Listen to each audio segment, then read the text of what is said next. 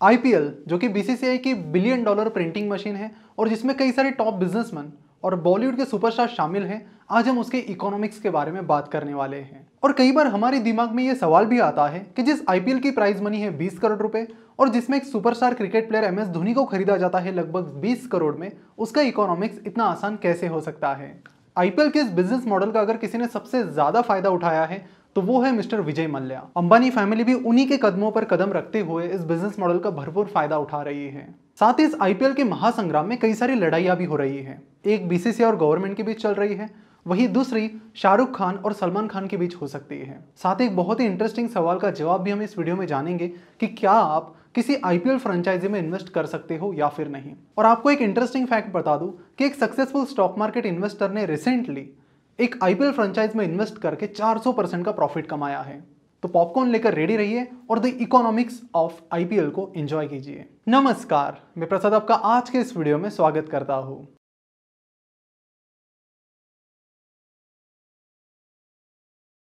साल 2018 तक ज़्यादातर आईपीएल कंपनीज़ लॉसेस में थी, लेकिन साल 2018 के बाद ज़्यादातर आईपीएल कंपनीज़ प्रॉफिटेबल हुई। तो इन आईपीएल फ्रेंचाइजीज के प्रॉफिटेबल बनने के पीछे अगर कोई है तो वो हो आप। आईपीएल का मेजोरिटी रिवेन्यू यानी ज़्यादातर रिवेन्यू दो जगह से आता है। पहला है आईपीएल के मीडिया राइट्स जो कि फ़िलहाल स्टार इंडिया के पास है और पहले सोनी के पास थे। साल 2008 से लेकर 2017 तक आईपीएल के राइट्स सोनी के पास थे और उसके लिए सोनी हर साल 700 करोड़ रुपए बीसीसीआई को पे कर रहा था। लेकिन 2018 में ये कॉन्ट्रैक्ट मिला स्टार इंडिया को और वहाँ से स्टार इंडिया सालाना पे कर रही है थर्टी करोड़। तो ये कोई छोटी मोटी ग्रोथ नहीं, बल्कि चार गुना से भी ज़्यादा की ग्रोथ है। इसी तरह की ग्रोथ आईपीएल के टाइटल स्पॉन्सर फ़ीस में भी देखने मिली। 2008 से लेकर 2012 तक डीएलएफ आईपीएल का टाइटल स्पॉन्सर था और वो हर साल बीसीसीआई को 40 करोड़ रुपए पे कर रहे थे। अगर हम आईपीएल की बड़ी टीम्स की बात करें, जैसे कि Mumbai Indians, Chennai super kings और केकेआर तो इनका एवरेज प्रॉफिट 40 से 50 करोड़ के बीच रहा है। लेकिन अब फिर सवाल आता है कि बड़े बड़े बिजनेसमैन जैसे कि मुकेश अंबानी, जिनकी नेटवर्थ फ़िलहाल six lakh seventy thousand crore है, वो सिर्फ़ 40-50 करोड़ के लिए किसी आईपीएल टीम में क्यों इन्वेस्ट करेंगे? तो इसके पीछे का इकोनॉमिक्स भी बड़ा इंटरेस्टिंग है। हालाँकि विजय मल्ल्या को यह चीज़ बहुत अच्छे से पता थी कि आईपीएल का असली प्रॉफिट बाकी चीज़ों में नहीं है, वो है अपने खुद के प्रोडक्ट्स प्रमोट करने में। और इसलिए उन्होंने टीम का नाम भी कुछ वैसा ही रखा रॉयल चैलेंजर्स बैंगलोर और इसके लिए कई सारे अलग अलग कैंपेन्स उन्होंने लाए, जैसे कि उलालाला लेओ और इस कैंपेन के ज़रिए उन्होंने किंग फिशर को काफ़ी हेविली प्रमोट किया। इंडिया में अल्कोहल को डायरेक्ट प्रमोट करना अलाउ नहीं है। तो यहाँ पर विजय मल्ल्या ने बहुत ही इंटेलिजेंटली और बहुत ही स्मार्टली खेलकर अलग अलग अपने ब्रांड्स को इसी तरह से प्रमोट किया। और उसका फ़ायदा उनकी कंपनी यूनाइटेड ब्रूरीज को हुआ। और इसी मॉडल पर चलते हुए अब अंबानी फैमिली भी जियो को आईपीएल के ज़रिए प्रमोट कर रही है। आप देखो तो उनका मॉडल भी लगभग सिमिलर ही है। जियो का प्रमोशन वो अलग अलग जगह पर, यानी जर्सीज और बाकी चीज़ों पर करते हैं। साथ ही उन्होंने भी किंग फिशर की जिंगल की तरह ही जियो की जिंगल लाई है। जियो धन धनाधन और उसके ज़रिए वो हेविली जियो को प्रमोट कर रहे हैं। हालाँकि स्टार इंडिया के जो मीडिया राइट्स है, वो अगले साल खत्म हो रहे हैं। तो यहाँ पर मिस्टर मुकेश अंबानी की रिलायंस इंडस्ट्रीज़ भी कोशिश कर रही है कि उनकी कंपनी को ये मीडिया राइट्स मिले।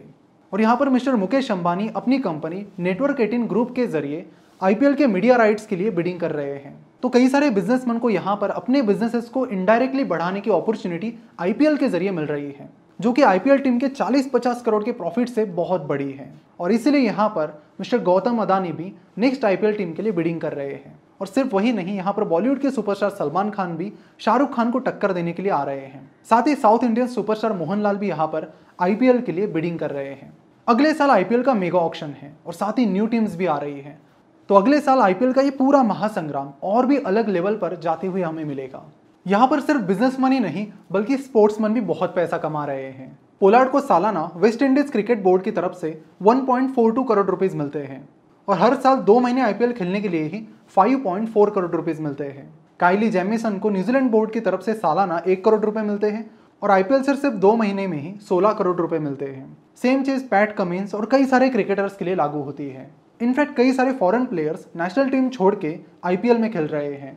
आईपीएल जिसकी brand value seven billion dollar यानी करीब पचास हज़ार करोड़ रुपए है, उसने जीडीपी में भी बहुत अच्छे से कंट्रीब्यूट किया है। कई सारे जॉब्स उसकी वजह से क्रिएट हुए हैं।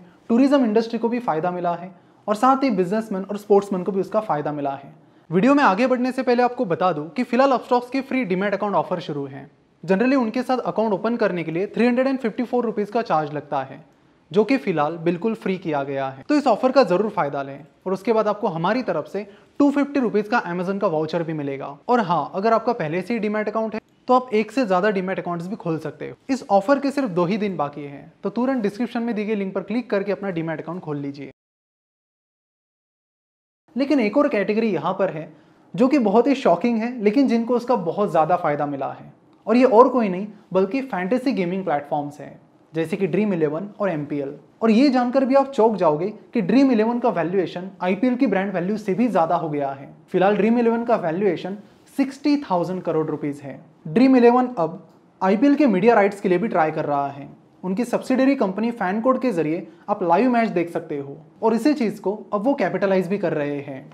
जिस आईपीएल का इतने सारे लोगों को और एंटिटीज को फ़ायदा मिल रहा है, क्या आप भी उसका फ़ायदा उठा सकते हैं?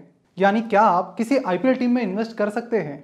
और आपको बता दूँ कि आईपीएल दुनिया की चौथी सबसे बड़ी लीग है। दुनिया में कई सारी स्पोर्ट्स टीम जैसे कि यूवेंटस मैनचेस्टर यूनाइटेड इनके शेयर स्टॉक एक्सचेंज पर लिस्टेड हैं। जहाँ पर आप आसानी से इनके शेयर्स खरीद सकते हो। लेकिन इंडिया में किसी भी आईपीएल फ्रेंचाइज के शेयर स्टॉक एक्सचेंजेस पर लिस्टेड नहीं है। लेकिन प्राइवेट मार्केट में वो ट्रेड हो रहे हैं।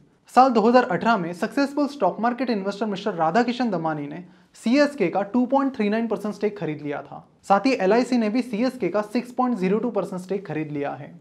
इंडिया में आईपीएल टीम स्टॉक एक्सचेंज पर लिस्टेड नहीं है, लेकिन प्राइवेट मार्केट में उनके शेयर्स ट्रेड हो रहे हैं। अगर आपको किसी आईपीएल टीम में बड़ा स्टेक खरीदना है तो उसके लिए आपको रीच आउट करना पड़ेगा उन लोगों से जिनके पास ऑलरेडी उन आईपीएल टीम्स का स्टेक है। लेकिन अगर रिटेल इन्वेस्टर्स की बात की जाए तो रिटेल इन्वेस्टर्स के लिए फ़िलहाल ये शेयर्स खरीदना अभी भी बहुत डिफ़िकल्ट है। तो आप क्या चाहते हो? किस आईपीएल टीम को सबसे पहले अपना आईपीओ लाना चाहिए? और आप किस आईपीएल टीम में इन्वेस्ट करना पसंद करोगे? नीचे कमेंट करके हमें ज़रूर बताइए। साथ ही अपने आईपीएल देखने वाले दोस्तों के साथ ये वीडियो शेयर कीजिए और उनसे भी पूछिए कि किस आईपीएल टीम में वो इन्वेस्ट करना पसंद करेंगे। Thank you so much